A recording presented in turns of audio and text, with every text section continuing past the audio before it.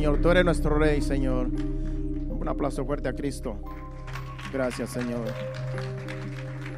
Y así, Padre Santo, te presentamos, Señor, estas ofrendas, Señor, o diezmo, lo que los hermanos hayan traído, Señor. Te pedimos que las recibas, Señor, y que tú sigas bendiciendo a tu pueblo. En el nombre de Jesús, recíbelas. Amén. En esa bendición puede tomar su lugar. Y bienvenidos de nuevo aquí a este lugar, a Remanente Fiel. Bienvenidos algunos. Si hay alguna visita, pues lo recibimos. Creo que todos son de aquí, ¿verdad? Bueno, pues bienvenidos a todos y cada uno de ustedes.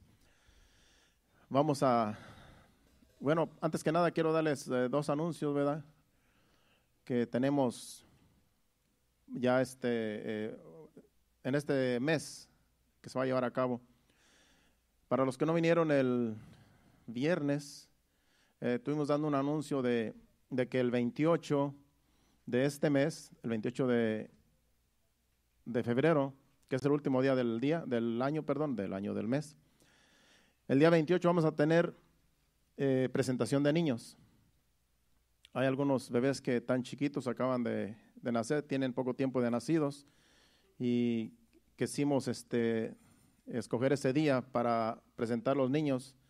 Si usted quiere, ¿verdad?, presentar a su niño, su niña, eh, véase con Miss Kim y dele el nombre del niño o la niña y los personas, las personas que usted quiere que sean los testigos para así ese día presentarlos. Los vamos a presentar después del servicio, el día 28. Y también este, el, día 20 va a haber unos uh, cumpleaños de hermano Darío y su compañera van a tener un cumpleaños aquí en, a un lado del edificio. van a, va a haber unas mesas y van a celebrar el cumpleaños de sus dos niños. Así es que ya algunos de ustedes tienen a, lo mejor alguna tarjetita de invitación y va a ser en su casa, pero lo cambiaron porque no tienen lugar donde parquearse, ahí donde ellos viven. Entonces eh, dije que si querían aquí hacer la actividad en la parte de afuera, a un lado del edificio, se ponen las mesas y se trae la comida y ahí se, se hace la fiesta. Y así lo van a hacer. Así es que todos están invitados, toda la iglesia está invitada al día 20 de febrero. ¿Qué tal si vamos a la palabra de Dios, al mensaje de hoy?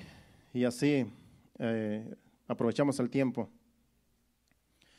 Vamos a hablar en esta tarde de las ovejas, ovejas este, de ovejas eh, naturales y, y, también de ovejas que viene siendo la iglesia de Cristo y cada uno de nosotros somos ovejas de Dios. Vamos al Salmo 23, verso 1 y 2. Salmo 23, verso 1 y 2. Es un salmo muy conocido, ¿verdad? Todos lo conocemos, ya casi de memoria no lo sabemos, pero solamente vamos a tomar esos dos versículos para hablar eh, para la introducción. Dice, Jehová es mi pastor, nada me faltará. En lugares de delicados pastos me hará descansar, junto a aguas de reposo me pastoreará. Vamos a orar para que el Señor nos dirija en esta enseñanza. Padre Santo, Padre bueno, Señor. Me presento delante de ti, delante de esta congregación y de todos los que nos están siguiendo por las redes sociales, para que seas tú hablando, Señor, a cada uno de nosotros por medio de esta enseñanza, Señor. Y que salgamos edificados, transformados, Señor, bendecidos de este lugar y allá en sus hogares, donde quiera que nos vean, Señor, que este mensaje sea, Señor, de una manera, Señor, eh, de, de, tal manera que tú, Señor, nos hables y que tengamos convicción de que tú eres nuestro pastor y que nosotros somos tus ovejas y que si tú eres nuestro pastor y nosotros tus ovejas, Señor, tú tienes cuidado de nosotros porque tú eres el buen pastor, Señor. Háblanos en esta hora y que así tu bendición sea sobre nosotros en esta hora. En el nombre de Jesús te lo pedimos. Amén. Como ya dije, ¿verdad? En la Biblia el pueblo de Israel y ahora en estos tiempos donde estamos en la dispersación de la gracia, a la iglesia se considera el rebaño, un rebaño de ovejas. Así se considera la iglesia, un rebaño. Entonces, si hablamos de ovejas, las ovejas, de una oveja literal o natural, ¿verdad? Si hablamos de una oveja literal, la oveja es uno de los animales más indefensos que existen. En primer lugar, una oveja no tiene cuernos, ¿verdad? ¿Cuántos conocen las ovejas? No tienen cuernos. Y en segundo lugar, eh, tampoco tienen colmillos. En tercer lugar, tampoco tienen garras, uñas como las fieras para defenderse. Y en último lugar, eh, son muy lentas, son muy, eh, muy lentas para caminar, para correr.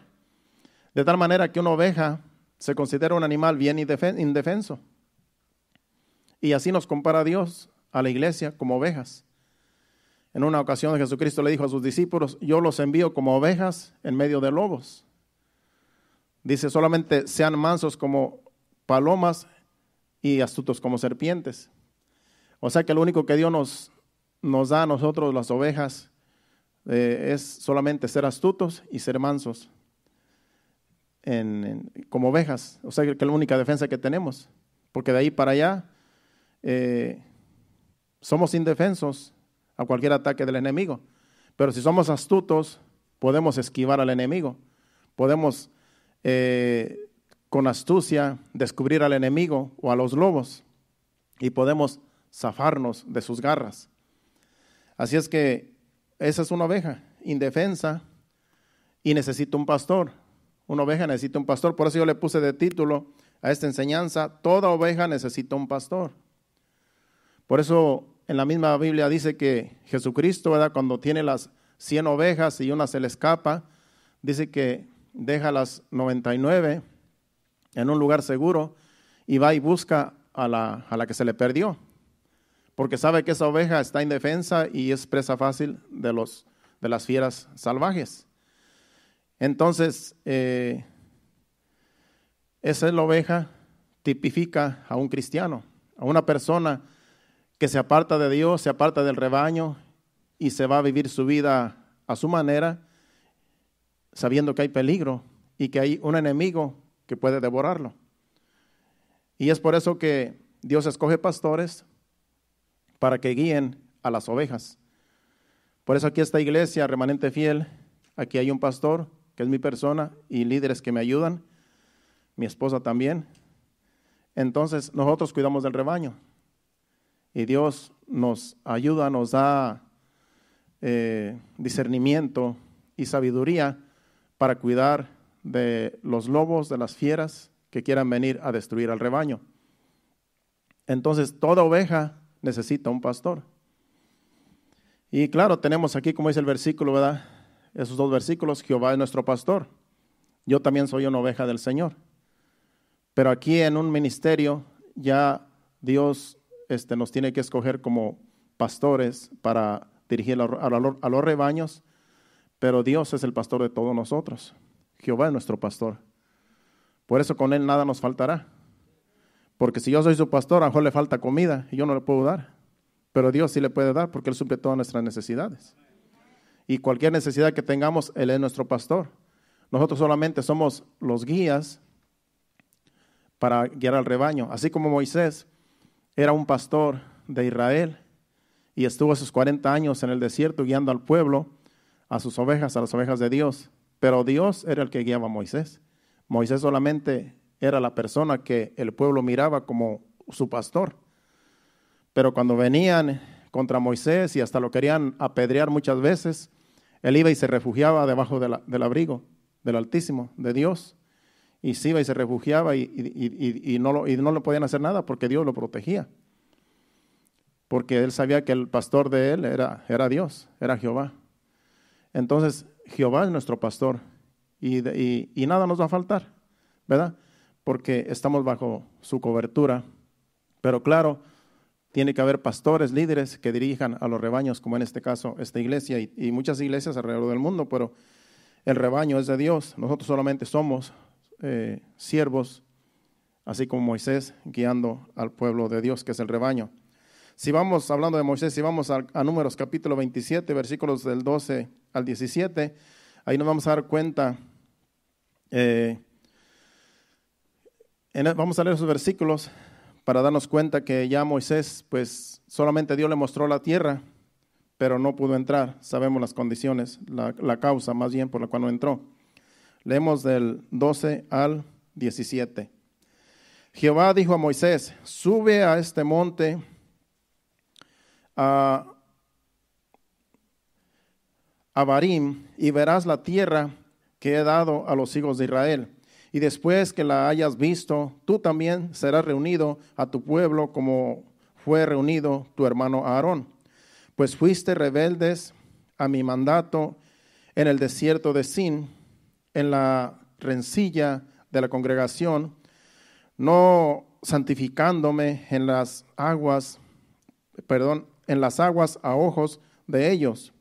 Estas son las aguas de la rencilla de Cades en el desierto de Sin. Entonces respondió Moisés a Jehová diciendo, Ponga Jehová Dios de los espíritus de toda carne un varón sobre la congregación, que salga delante de ellos y que entre delante de ellos, que los saque y los introduzca para que la congregación de Jehová no sea como ovejas sin pastor. Vemos allí ese diálogo de Dios y Moisés. Si analizamos los primeros versículos del 12 al 15, dice que Dios le dijo, mira, les dijo, sube ese monte y vas a ver la tierra que yo le prometí a, a este pueblo. Pero tú no vas a entrar porque tú no me santificaste, tú y Aarón no me santificaron cuando sabemos que cuando golpeó la roca, a causa de eso no entraron a la tierra prometida porque le desobedecieron a Dios, siendo que Dios le dijo, háblale a la roca, y Moisés la golpeó con su vara dos veces.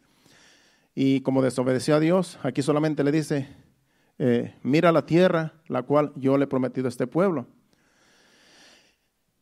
Y ya después en el versículo, en los versículos 12 eh, al 15, perdón, el 16 y 17, vemos allí a Moisés como dándole consejos a Dios.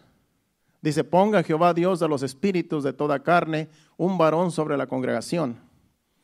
Y el 17 dice, que salga delante de ellos y que entre delante de ellos, que los saque, los introduzca para que la congregación de Jehová no sea como ovejas sin pastor. Ese versículo es como si Moisés, esos dos versículos es como si Moisés le estuviera aconsejando a Dios. Y sabemos que a Dios nadie le puede aconsejar, porque Dios es soberano, Él sabe lo que hace. Entonces decimos, bueno, ¿por qué, ¿por qué Dios le hizo caso a Moisés? Porque después dice que sí, ya escogió a, Josué, que es el que va a guiar al pueblo y lo va a introducir. Una persona que no entiende la palabra de Dios, que a lo mejor no tiene conocimiento, puede pensar que Moisés aconsejó a Dios, porque así se ve en estos versículos. Como que Dios le hizo caso a Moisés y que Moisés lo aconsejó para qué era lo que tenía que hacer después de que él partiera. Pero sabemos que Dios no necesita consejos de nadie. Lo que pasa es que esos versículos se escribieron para que nosotros nos demos cuenta de la preocupación de Moisés con su pueblo. Para que nosotros sepamos, conozcamos el corazón de Moisés, que era, tenía un corazón de pastor. Y él se preocupaba por sus ovejas. Y para eso él, por eso él dice ahí, le dijo a Dios, eh, eh, escoge a alguien que introduzca, que introduzca este pueblo a la tierra prometida. Dice, para que no anden como ovejas sin pastor, porque él sabía que el pueblo necesitaba un pastor. Entonces Moisés, este, Josué fue el sucesor de Moisés, fue el que introdujo al pueblo a la tierra prometida.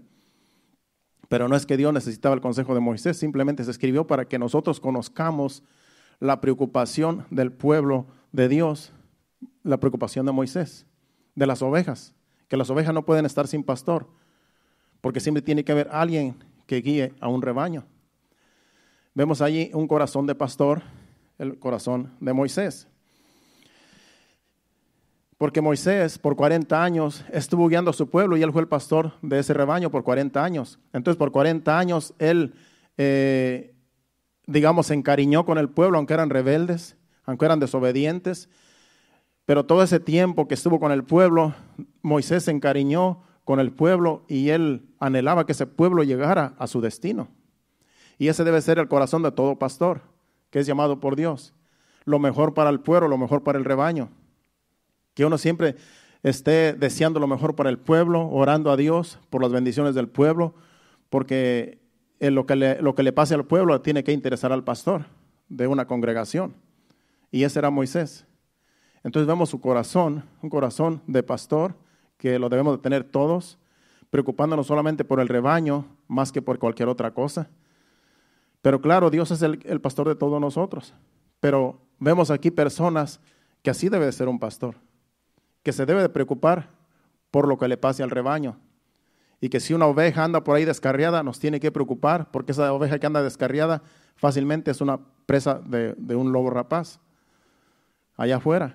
Entonces, vemos aquí el corazón de Moisés, que es un corazón de pastor. Si vamos al Salmo 78, 52, aquí también habla de cómo Dios guió a su pueblo por el desierto. Estamos hablando de un pueblo que tipifica a un rebaño, el pueblo de Dios, el pueblo de Israel. Dice el Salmo 78, 52. Hizo salir a su pueblo como ovejas y los llevó por el desierto como un rebaño. Está hablando de Dios, que Dios hizo salir a su pueblo, su pueblo escogido, y como un rebaño de ovejas lo llevó por el desierto, cuidando de, de esas ovejas, guardándolos y protegiéndolos. Conocemos la historia, tuvo cuidado de ellos. Les dio alimento 40 años, el maná y agua, le daba agua de la roca para que bebieran donde no había agua. Entonces Dios siempre estuvo con su pueblo, guiándolo, protegiéndolo y sustentándolo por el desierto por 40 años. Y Moisés solamente era el, que, el, el, líder, pero Dios fue el que daba todo, todo lo, todo lo necesario. Moisés no les podía dar nada. Cuando le decían, danos pan, lo querían apedrear, porque ¿cómo, ¿cómo les va a dar pan aquí en este desierto? Dice, si Dios no lo hace, yo no lo puedo hacer. Y Dios les daba pan, Dios les daba el maná en una ocasión le pidieron carne y les mandó codornices que las agarraban así, volaban así por la superficie del, del suelo. Y les vino un castigo porque en realidad estaban bien carnales. Y murieron muchos. Pero Dios era el que suplía. No era Moisés, era Dios. Por eso la congregación no puede culpar a un pastor si un pastor, si la iglesia, eh, si alguien está padeciendo alguna necesidad, no puede decir, no, pues el pastor tiene la culpa porque yo estoy pasando por esta necesidad. No, porque a mí no me tienen que echar la culpa. Hable con Dios. Si no le suple una necesidad, no diga, no, que el pastor está mal porque no, Dios no me suple. No, pues yo no soy el que suple, el que suple es Dios. Porque todos somos hijos de Dios y todos necesitamos de Dios, yo también. Yo también le pido a Dios que me supla y que me bendiga y que bendiga a cada uno de ustedes, porque Él es el que, de Él viene todo. Por eso en el desierto Venían contra Moisés, pero Dios decía, no es contra ti, es contra mí, dice, que están irritados, porque yo soy el que suplo, no eres tú. Y así es siempre. El Salmo 119, versículo 176, el último versículo de ese capítulo, habla de alguien que, anduvo descarriado como oveja. Y vamos a ver este versículo, vamos a leerlo. Salmo 119, versículo 176. Dice, yo anduve errante como oveja extraviada.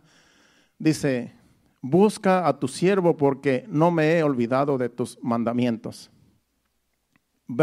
Si, nos damos cuenta, este versículo se puede dividir en dos partes. Donde dice, yo anduve descarriado como oveja extraviada, está hablando el salmista que él anduvo descarriado como, que él anduvo eh, eh, errante como oveja descarriada, pero donde dice, busca, dice, busca a tu siervo porque no me he olvidado de tus mandamientos, él mismo le pide a Dios que busque a su siervo. Dice, porque no me he olvidado de tus mandamientos. Es como una persona que está fuera de los caminos de Dios y que dice, yo anduve descarriado como oveja extraviada. Y esa persona en oración le dice a Dios, busca a tu siervo porque no me he olvidado de tus mandamientos. Porque hay muchos que están descarriados allá afuera, pero conocen la palabra. Conocen que un día estuvieron en un rebaño, en una iglesia, y conocen la palabra. Por eso dice, porque no me he olvidado de tus mandamientos. Hay quienes viven fuera de una congregación, pero todavía tienen temor de Dios saben que son ovejas descarriadas, pero todavía dicen, yo me acuerdo de tus mandamientos, yo conozco tu palabra. Y le dicen, busca a tu siervo, en otras palabras, estoy perdido, búscame. Estoy descarriado, búscame. Es lo que le está diciendo en, oración el salmista a Dios. Busca a tu siervo, porque no me he olvidado de tus mandamientos. Esa es una oración que puede hacer una persona que está apartada. Señor, estoy perdido, estoy descarriado, búscame, porque necesito de ti porque yo conozco tu palabra y no me he apartado de tus mandamientos, pero estoy descarriado, estoy descarriada. Es una oración que puede hacer una persona que está apartada lejos de Dios. Vemos que para todos tiene Dios, para todos tiene Dios una respuesta, aún a los que están fuera de los caminos de Dios, porque Dios es misericordioso y por eso está su palabra, para guiarnos a toda verdad. Por eso dice también Isaías 53, 6, dice ahí que todos nosotros nos descarriamos como ovejas. Isaías 53, 6. Dice, todos nosotros nos descarriamos como ovejas, cada uno se apartó por su camino, mas Jehová cargó en él el pecado de todos nosotros. Aquí está hablando el sacrificio de Cristo cuando fue a la cruz. Dice que todos estamos descarriados. Antes de que Jesucristo pagara el precio, todos estamos descarriados. Pero cuando ya Jesucristo pagó el precio, ahora nosotros venimos y venimos a ser ovejas de Dios. Dice, cada uno se apartó por su camino. Dice, mas Jehová cargó en él el pecado de todos nosotros. Por el sacrificio de Cristo en la cruz es que nosotros ahora somos un rebaño. Por el sacrificio de que Él pagó un precio, es que ahora la iglesia, nosotros que somos gentiles, venimos a ser el rebaño de Dios. Porque ya Jesucristo pagó un precio por nuestros pecados, ya que nosotros estamos perdidos fuera de la voluntad de Dios. Entonces, gracias a ese sacrificio de Cristo, ahora somos un rebaño de Dios. Somos ovejas, somos aceptas a Dios.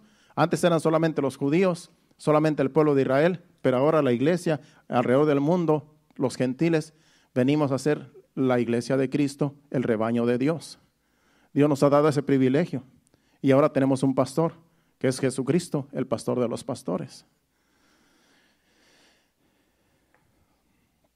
Vamos a Jeremías capítulo 23, versículos del 1 al 4, porque aquí habla del juicio de que Dios traerá. Dios va a traer juicio a pastores que están pastoreando el rebaño de Dios en aquel tiempo, sabemos que era Israel. Y Dios, por medio de Jeremías, aquí les, les habla de juicios que, van a que Dios va a traer porque no son buenos pastores. Dice, hay de los pastores que destruyen y dispersan las ovejas de mi, de mi rebaño, dice Jehová. El otro versículo dice, dice, por tanto, así ha dicho Jehová de los de Israel, a los pastores que pacientan mi pueblo, vosotros dispersasteis mis ovejas y las espantasteis y no las habéis cuidado. He aquí que yo castigo la maldad de vuestras obras, dice Jehová. El 3. Y yo mismo escogeré el remanente de mis ovejas de toda la tierra, de todas las tierras a donde las eché, y las haré volver a sus moradas, y crecerán y se multiplicarán. Y pondré sobre ellas pastores que las apacienten, y no temerán más, ni se amedrentarán, ni serán menoscabadas, dice Jehová. Vemos aquí en aquel tiempo pastores que se aprovechaban del pueblo pastores que Dios había puesto en el rebaño para que guiaran al pueblo. Pero estos pastores se aprovechaban del rebaño y Dios no estaba contento, porque dice que las espantaban y andaban dispersas, porque no eran buenos pastores. Hay pastores que en las congregaciones hoy en día espantan a las iglesias con lo que hacen y, las, y las, a las ovejas con lo que hacen y las ovejas no hayan que hacer. Están espantadas porque no le tienen confianza al pastor que los está guiando, porque ese pastor no está haciendo las cosas correctas como Dios eh, quiere que se, se dirija un rebaño. De tal manera que las ovejas se espantan, se asustan por lo que hacen algunos pastores que no son dirigidos por Dios, que se han aprovechado del rebaño y solamente le están sacando provecho. Y las ovejas están que no hayan que hacer, pero Dios tiene cuidado de esas ovejas. Tarde o temprano Dios va, a poner pastores a esas ovejas para que no anden por allí este, temiendo de que vayan a caer en manos de lobos rapaces. Porque acuérdense que las ovejas son indefensas, como dijimos al principio. Así se nos considera a nosotros indefensos, como ovejas indefensas, porque una oveja no se sabe defender. Si una oveja se sabe defender, entonces ya no es oveja, porque entonces ya está alterando el orden.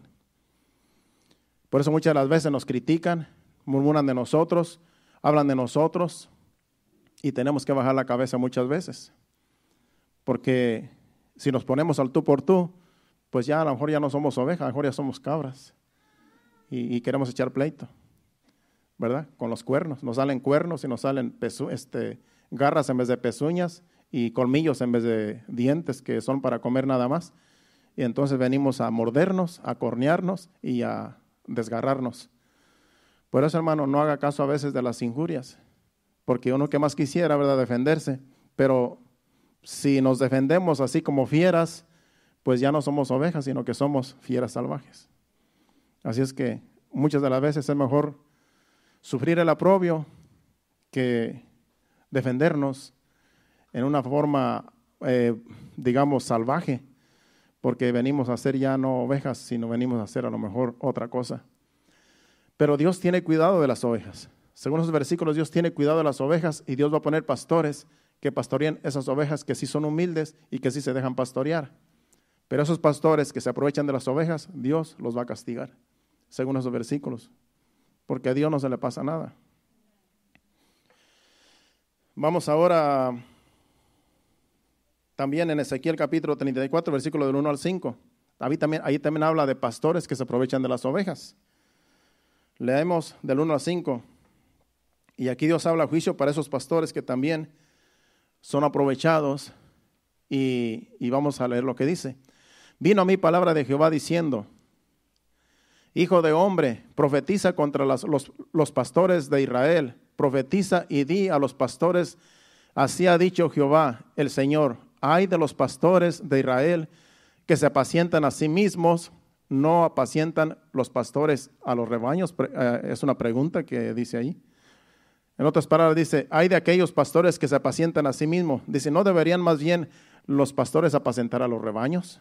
Pero no, ellos apacientan a sí mismos. Y dice el versículo que sigue, el, 3. Dice, coméis la grosura y os vestís de la lana. Dice, la engordada degolláis, mas no apacentáis a las ovejas. El 4. Dice, no fortaleciste las débiles, ni curasteis las enfermas, no, no vendasteis la perniquebrada, no, no volvisteis al redil la descarriada. Dice, ni buscasteis la perdida, sino que os habéis enseñoreado de ellas con dureza y con violencia. Vemos aquí a pastores violentos. Dice, y andan errantes por falta de pastor y son presa de todas las fieras del campo y se han dispersado. ¿Por qué? Porque este pastor se aprovecha de las ovejas. Ese pastor que, esos pastores que hablan esos versículos. Porque le sacan la lana, se aprovechan de ellas, se comen la más gorda, la que más les gusta, se la comen. Dice, y luego dice, andan todas dispersas, andan todas asustadas. Dice, andan errantes por falta de pastor y son presas de todas las fieras del campo y se han dispersado. ¿Qué pastor que ama un rebaño va a hacer esas cosas? Pero sí lo hay. Sí los hay esos pastores hoy en día. Que se aprovechan de las inocentes, de las ovejas inocentes, se aprovechan a veces de la ignorancia y le, sacan no solamente la lana, sino también se comen la carne. Según dicen esos versículos. ¿Por qué? Porque ellos se sienten con el derecho de hacerlo. Porque dicen, este es mi rebaño, yo con mi rebaño lo que yo quiera. No saben que es el rebaño de Dios. Es rebaño de Dios, no de nosotros. Acuérdense que nosotros solamente somos guías. Pero ellos se sienten con el derecho de hacer lo que ellos quieren en un rebaño y creen que todo Dios está contento. Le van a dar cuentas a Dios, tarde o temprano. Dios no se le esconde nada ni se le escapa nada. Pero claro, Dios todo su tiempo. Y Dios para asegurarse que está hablando de su pueblo y no de ovejas eh, naturales, termina diciendo el capítulo 34 y versos 30 y 31. Vamos a, al final del capítulo, de ese mismo capítulo, pero versos 30, 30 y 31. Dice, y sabrán que yo Jehová su Dios estoy con ellos y ellos son mi pueblo, la casa de Israel, dice Jehová el Señor. Y el 31, y vosotras, ovejas mías, ovejas de mi, de mi pasto, hombres sois y no vuestro, dice, y yo vuestro Dios, dice Jehová el Señor. Estos versículos terminan diciendo que las ovejas de las cuales está hablando todo este capítulo son ovejas, son hombres. Son hombres, vosotras, ovejas mías, ovejas de mi pasto, hombres sois y yo vuestro Dios, dice Jehová el Señor. ¿Por qué se escribieron esos versículos al final del capítulo? Porque muchas personas tuercen la palabra para decir, no, es que ahí está hablando de ovejas literales. No, es que allá en el, al principio del capítulo está hablando de que eh, pastores este, que cuidaban ovejas en aquel tiempo, pues sí, se aprovechaban del rebaño y se comían a las que estaban gordas, les sacaban la lana, les quitaban la lana y se aprovechaban y se hacían ricos con, con las ovejas que, que, eran de Dios, pero en realidad eran ovejas, eran ovejas literales, naturales. ¿Alguien puede decir así? Porque, alguien, porque tú es en la palabra y la hacen a su conveniencia. Pero aquí al final del mismo capítulo, porque no se sale, si usted lee todo el capítulo, está hablando de, del pueblo de Dios. Por eso dice, dice, ustedes mis ovejas son hombres. Yo no estoy hablando de ovejas que no tienen cuernos y que, y que, son, este, que son naturales. No estoy hablando de ovejas naturales, estoy hablando de mi pueblo que los pastores que yo he puesto se han aprovechado de ellas y, están ahora descarriadas por ahí. De eso está hablando Dios ahí, de personas, de su pueblo, de su pueblo que Él eligió. Por eso tenemos que entender bien la palabra para que hay palabras que se, se pueden, este, son simbólicos, pero hay palabras que son literales. Y aquí todo esto es simbólico. Aquí todo ese capítulo está hablando de ovejas, pero está hablando del pueblo de Dios, que es el rebaño de Dios, que es Israel. De ellos está hablando. Y en este caso, en este tiempo, es la iglesia. La iglesia de pastores, que aquellos que se aprovechan de las iglesias, de sus rebaños, y creen que tienen el derecho, porque dicen, yo soy el pastor, yo tengo derecho a, servirme de las ovejas. No, hermanos, estamos trabajando para Dios, no para, no para satisfacer nuestras necesidades no para sacar provecho del pueblo. Y muchos sacan provecho, pero tarde o temprano van a darle cuentas a Dios. Esos pastores que creen que se sienten con el derecho de hacerlo y de hacer lo que quieren con su rebaño. En Zacarías capítulo 10, versículo 1 y 2, vemos a un pueblo desviado y su corazón inclinado a la, adivinación y a la idolatría. Pero si leemos el versículo 1 de ese capítulo 10, Dice, pedid a Jehová lluvia en la estación tardía. Jehová hará relámpagos y os dará lluvia abundante y hierba verde en el campo a cada uno. Y del versículo 2 dice, porque los terafines han dado vanos oráculos y los adivinos han visto mentira, han hablado sueños vanos. Dice, y vano es su consuelo por lo cual el pueblo vaga como oveja y sufre porque no tiene pastor. En esa época lo que está diciendo es que el pueblo se desvió de Dios y se iban a los adivinos, se iban aquellos que dicen, no, pues ven a mí, iban a consultar a los adivinos, iban con profetas falsos para que les profetizara lo bueno. Y dice, todo lo que ellos están diciendo son cosas vanas. Dice, vano, dice, dice, han hablado sueños vanos y vano es su consuelo, por lo cual el pueblo vaga como oveja y sufre porque no tiene pastor. Porque no había un pastor que guiara al pueblo en el camino de Dios, en el consejo de Dios. Entonces la gente se iba a los adivinos, a aquellos que supuestamente sabían el futuro, o sabían eh, que se hacían profetas, pero eran puras mentiras. Y estaban ellos inclinados a todo lo que ellos decían y se daban cuenta que todo era vano, que no pasaban las cosas como ellos querían. Por eso el versículo 1 les dice que clamen a Dios y Dios les va a dar lluvia, porque parece que en ese tiempo había mucha sequía a causa de la idolatría, porque ellos mismos iban y, adoraban eh, dioses falsos y consultaban a divinos para que les fuera bien. Pero dice Dios, pedid a Jehová lluvia en la estación tardía. Dice, y Jehová hará relámpagos y os dará lluvia abundante y hierba verde en el campo a cada uno. Yo todavía recuerdo cuando, cuando yo era chamaco, allá en mi pueblo, yo recuerdo que en tiempos de sequía porque allá solamente llueve como tres meses al año, solamente como julio, agosto y septiembre, y después ya no hay lluvia. Entonces en tres meses se tiene que dar la cosecha, en tres meses de lluvia. Si fue un año malo que no llovió mucho, se perdió la cosecha. Y si llueve bastante, que no para de llover, también se pierde por tanta lluvia. Así es que tiene que ser el agua medida. Yo recuerdo que en esos años, como en los años 80, yo recuerdo, había mucha sequía. Había más sequía de lo normal. Y la lluvia, llegaba ya muy tarde. Y yo recuerdo que sacaban los ídolos y los llevaban por los cerros, cantándole, aventándole cohetes y cantando para que lloviera. Yo me acuerdo de eso. Y ahora no lo hacen a lo mejor, no sé, como ya no vivo allá. Pero yo todavía recuerdo esos días. Y sacaban el ídolo y iban cantándole por los cerros para que Dios trajera lluvia. ¿Usted cree que Dios los iba a escuchar? Si estaban adorando un ídolo. Pues es lo que estaban haciendo aquí en, en este libro de Zacarías. Iban con los adivinos y iban a buscar buena suerte para que les fuera bien. Y Dios decía, todo eso es vano. Dice, pidan a Dios, pidan a Dios lluvia, que Dios es el que da la lluvia. Dice, y Dios les va a dar la lluvia. Pero no, van tras la idolatría a pedirle un ídolo. Todo lo que quieren van tras los ídolos. Y eso todavía existe hoy en día. Todavía hay quienes, en vez de pedirle a Dios, le piden a un ídolo. No le piden a Dios, que Dios es el que da todo. Pero esa es ignorancia del pueblo. Es porque le dan la espalda a Dios y, y, y se van por lo más fácil. Van a consultar a hombres porque quieren que un hombre les hable bonito y les diga cosas bonitas, en vez de ir a hablar con Dios. Y sucede todavía hoy en día. La gente se va a lo fácil, prefieren pagar dinero para que, para que alguien les diga, todo te va a ir bien. Vas a tener buena suerte, ten este amuleto y esto te va a guardar. Y prefieren pagar. Y eso es pura mentira.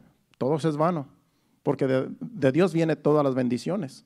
No de los ídolos, no de, las, de los oráculos, como dice el versículo 2. No de aquellos que dicen yo, yo te voy a profetizar buenas eh, buena suerte, yo te voy a, traer buena suerte con lo que yo te voy a decir y te va a ir bien y todo te va a ir bien. No, eso es mentira, hermanos.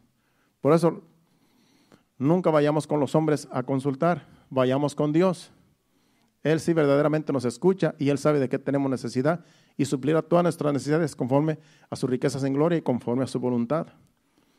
Pero este pueblo en este tiempo de Zacarías estaban, eran idólatras y se desviaron y buscaban a otros menos a Dios. Vamos ahora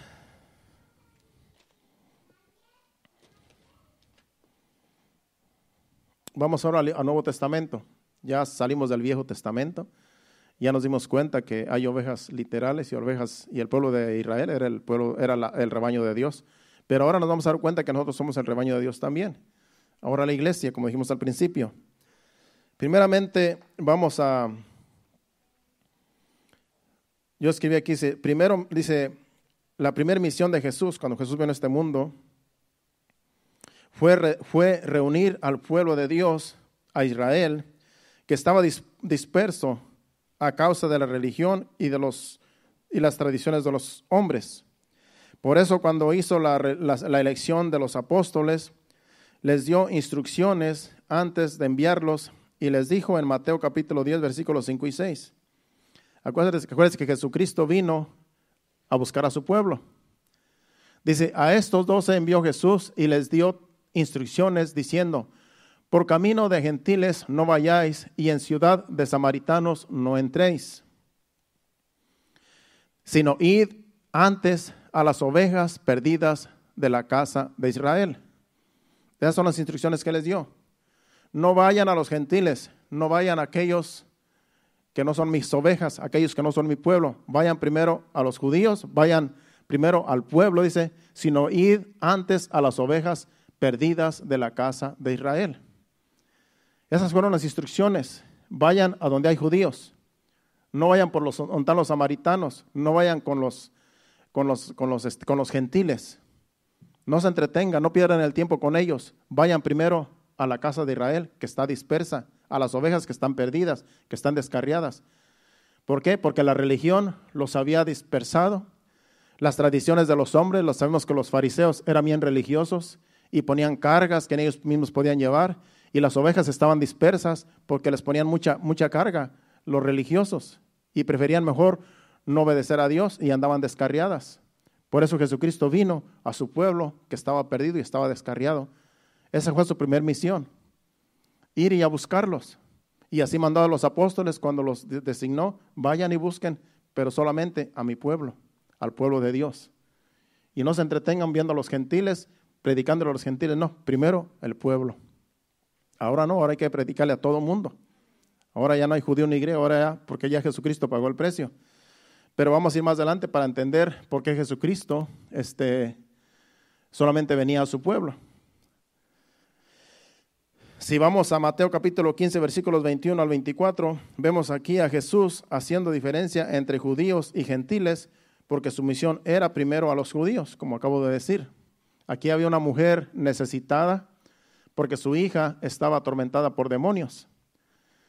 Ve allá Mateo capítulo 15, versículos 21 al 24.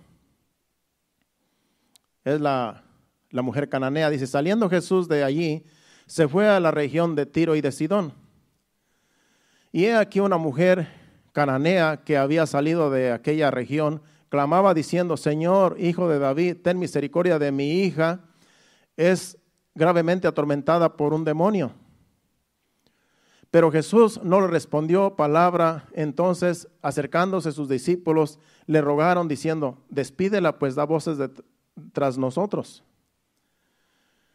Él respondiendo dijo, no soy enviado sino a las ovejas perdidas de la casa de Israel. Se da cuenta que lo mismo que les dijo a los discípulos, no vayan con los gentiles, él tampoco lo hizo. Dice, yo no puedo hacerte caso a ti porque yo voy a las ovejas, a las ovejas de Israel. Dice, él respondió y dijo, no soy enviado sino a las ovejas perdidas de la casa de Israel. No le quiso hacer caso a una mujer que estaba necesitada porque su hija necesitaba liberación. Y Jesucristo le ignoró. Jesucristo, que es el Hijo de Dios. ¿Por qué? Porque Él tenía una misión y era reunir a su pueblo, reunir al pueblo de Dios, a Israel. Pero vemos aquí la misericordia de Dios. Vemos el versículo que sigue. Dice, entonces ella vino y se postró ante él diciendo, Señor, socórreme. Respondió él y dijo, no está bien tomar el pan de los hijos y echarlo a los perrillos. lo comparó con un perrillo, imagínense.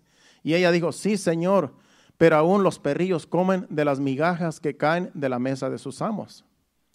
Y el otro dice, entonces respondiendo Jesús dijo, oh mujer, grande es tu fe, hágase contigo como quieres, y su hija fue sanada desde aquella hora.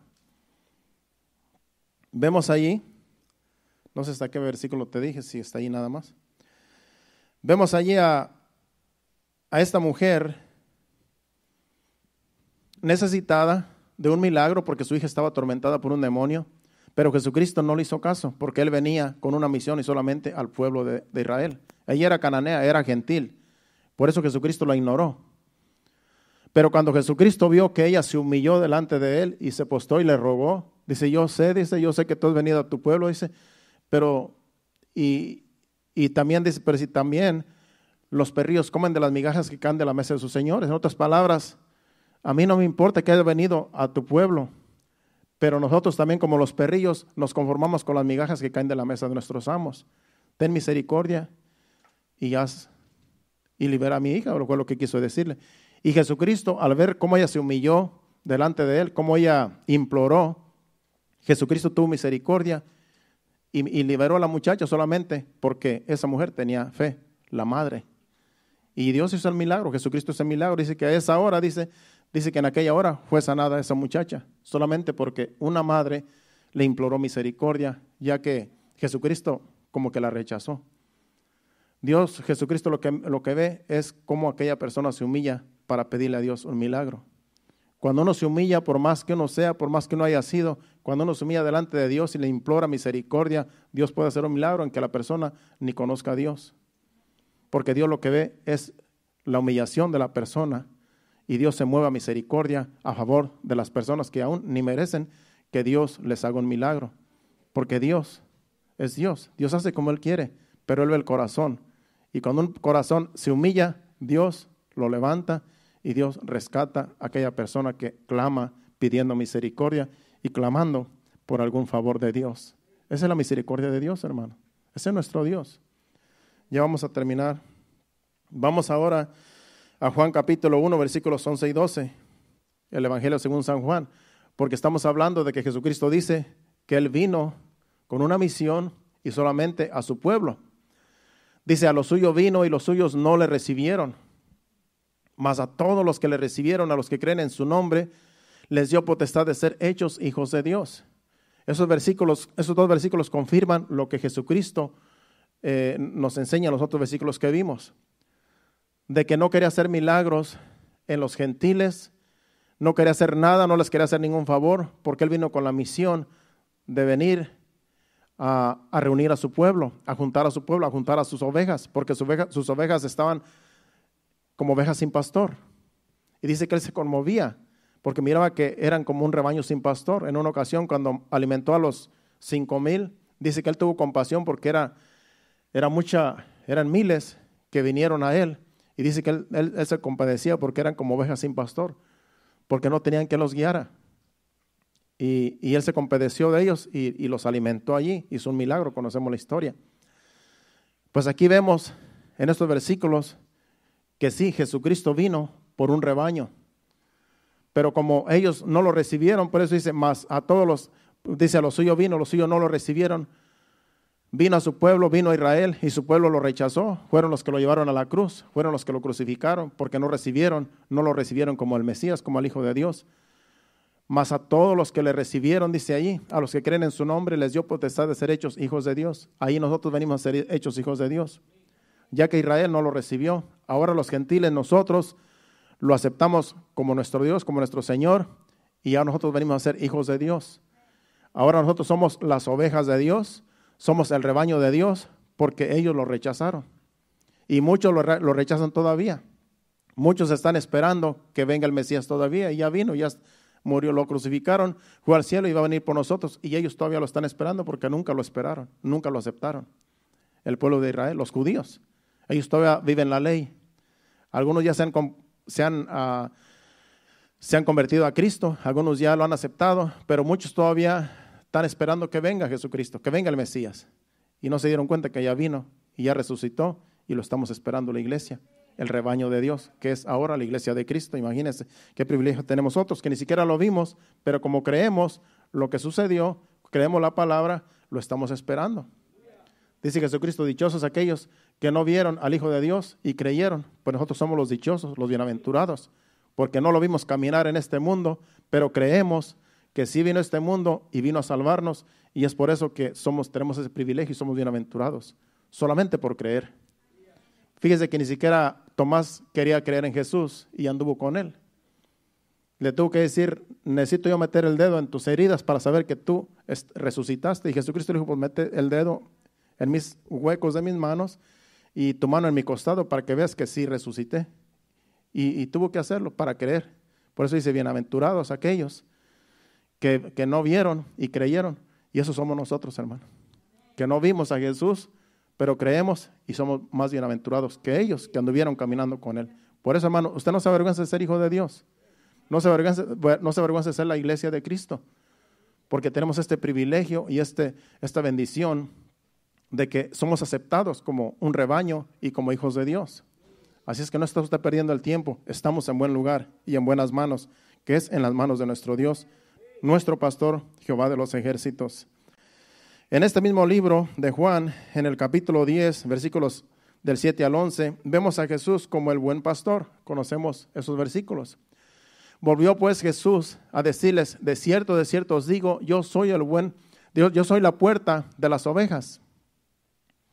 Todos los que los antes, los, los que antes de mí vinieron, Ladrones son y salteadores, pero no los oyeron las ovejas. Yo soy la puerta, el que por mí entrare será salvo, y entrará y saldrá y hallará pastos.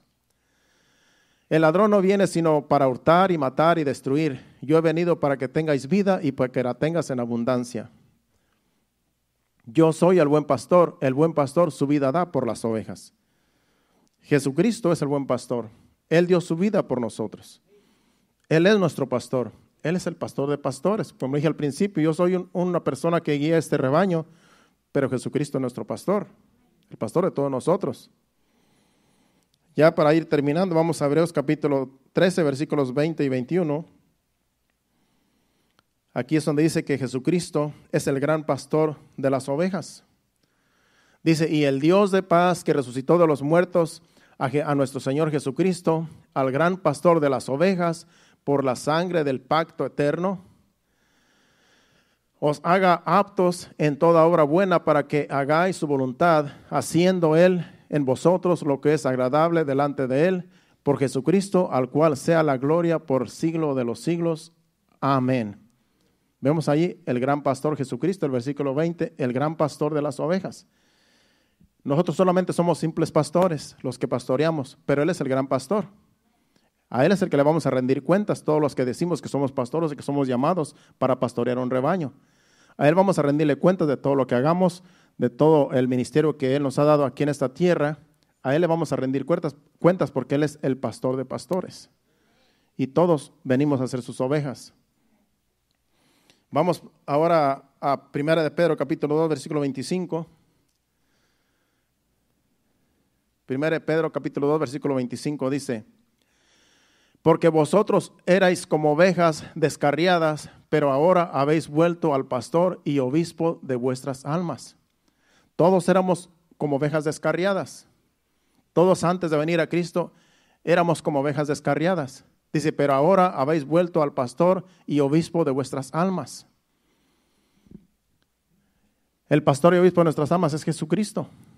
Él es el, gran, el, buen pastor y Él es el pastor de pastores. Antes estábamos sin fe y sin esperanza en este mundo, pero venimos a Cristo y ahora venimos a ser sus ovejas, su rebaño. Él es nuestro pastor. Y con Él nada nos faltará, como dice el Salmo 23, donde empezamos al principio. Así es que dice, porque vosotros erais como ovejas descarriadas, pero ahora habéis vuelto al pastor y obispo de vuestras almas. Y yo sé que hay muchas ovejas por allá descarriadas todavía, pero Dios, nuestro Señor Jesucristo, lo sigue esperando porque las quiere pastorear, porque quiere que se pongan bajo su abrigo, bajo sus alas, y solamente este, viniendo a una iglesia donde se predique el Evangelio, una iglesia como esta y muchas alrededor del mundo, hay muchas iglesias que todas se predica el verdadero Evangelio, pero hace falta que estén bajo un pastor, bajo un, un pastor que Dios haya llamado que las guíe, porque solo no se pueden pastorear. Por eso dijimos al principio, y el título es, toda oveja necesita un pastor. Toda oveja necesita un pastor. ¿Por qué? Porque a veces no sabemos nosotros guiarnos. ¿Cómo una oveja se va a guiar sola si necesita un pastor? Sabemos que como está la situación hoy en día, muchas cosas que han sucedido en las iglesias, ya muchos no quieren ir a una iglesia porque dicen todos los pastores son iguales y todas las iglesias son iguales. Y por causa del mal testimonio de algunos, las ovejas están descarriadas, están dispersas. Pero esos pastores van a dar cuentas a Dios del mal testimonio que hayan dado, pastoreando a sus rebaños. Pero todavía hay iglesias y todavía hay pastores que todavía aman a las iglesias y todavía se someten al gran pastor de los pastores, a Dios. Y yo les hago la invitación, la invitación a, cualquier, a cualquiera que esté por aquí cerca, que no tenga una iglesia donde reunirse, venga aquí. Aquí no le vamos a sacar la lana, ni vamos a, golpearlo, ni vamos, aquí los vamos a recibir con brazos abiertos, porque Dios nos ha llamado para dirigir un rebaño. Pero el gran pastor, el buen pastor es Jesucristo, y a Él nos sometemos todos. Lo que queremos es que todos estén bajo, bajo la cobertura de, de Dios del gran pastor. Y Dios, yo sé que Dios va a seguir trayendo muchos todavía al arrepentimiento y van a, van a venir a los, a los pies de Cristo de nuevo, aquellas iglesias, que, aquellas, pero aquellas ovejas que están a lo mejor descarriadas, sin pastor, cuando se den cuenta que necesitan estar bajo la cobertura de Dios, van a buscar una iglesia donde refugiarse, porque los tiempos están malos, hermano. Y solamente bajo un pastor, bajo la cobertura de Dios, podemos estar salvos de todo lo que viene, porque no cree que las cosas se van a componer. Las cosas van de mal en peor y solamente Dios sabe qué va a suceder de aquí en adelante. Y si no buscamos de Dios, los lobos rapaces van a destruir a las ovejas y que Dios nos ayude, hermanos. Así es que sigamos orando los unos por los otros y principalmente por aquellas ovejas que se han descarriado, que están sin pastor, que busquen un pastor. Yo no digo que vengan aquí, pero que vayan a un lugar donde sepan que es una sana doctrina, que vayan a donde ellos saben que hay todavía sana doctrina, donde se pastorea como Dios manda, que se pastoree y que todavía hay pastores que se dirigen por Dios y vayan a donde sientan ir, donde ellos sientan ir. Pero claro, yo como pastor de este local, yo le hago la invitación por si alguien quiere estar aquí en este lugar, en esta, bajo este techo, pues bienvenidos. Todos los que quieran venir son bienvenidos, porque lo que queremos es el bien de las ovejas, de nuestros hermanos, que están a lo mejor ya sin fe y sin esperanza, por allí vagando como ovejas sin pastor. Busquen de Dios, acérquense a una iglesia donde se predique la sana doctrina y que el Señor los dirija a un buen pastor que el Señor este, tenga cerca de ustedes, cerca donde ustedes vivan. ¿Qué tal si nos ponemos de pie y le damos gracias a Dios? Pasen al altar, vamos a despedirnos con un canto de alabanza al Señor, con un canto de adoración y que el Señor siga añadiendo más bendición a su palabra, al mensaje, que mientras vayamos a nuestros hogares el día de mañana, que sigamos meditando en su palabra, en el mensaje, y que el Señor siga tratando con nosotros eh, el día de mañana, los demás días, y hasta que vengamos otra vez a este lugar, que el Señor nos vuelva a hablar otra vez por medio del mensaje el miércoles.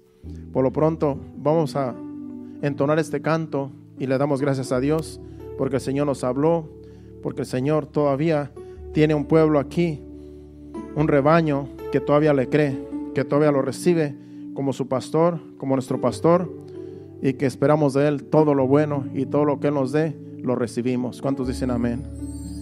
Adoremos a Dios con este canto.